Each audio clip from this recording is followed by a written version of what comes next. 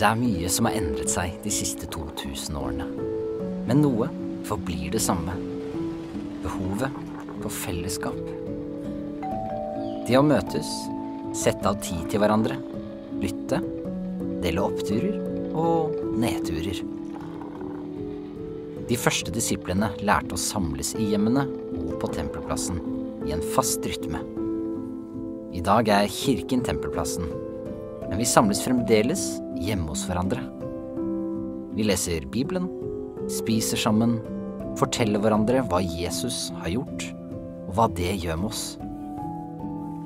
Vi lærer av hverandre, ber sammen og vokser i troen.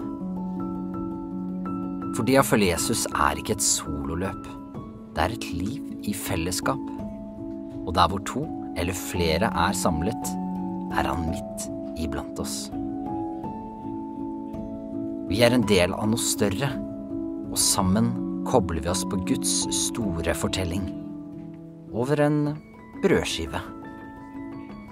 Han lærer oss hvordan vi kan være disipler, så flere kan komme til tro blant venner, i nabolaget, i byen og i landet vårt.